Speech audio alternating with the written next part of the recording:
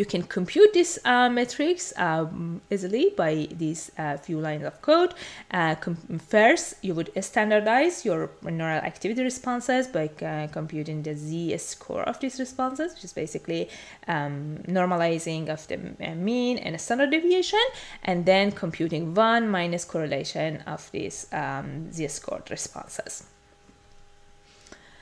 Um, this will give you, for this orientation discrimination task, a 180 by 180 matrix um,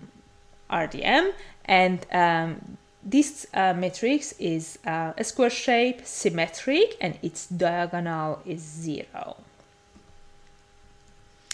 Here you can see the RDMs uh, from the orientation discrimination task, um, which is computed from brain data and from uh, model pooling layer activations and from model fully connected layer activations. Um, as you see, the pooling layer uh, RDM show more similar structure to V1 uh, RDM.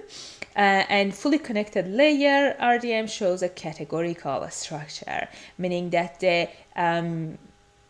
basically this part of the RDM, which uh, corresponds to a stimuli in the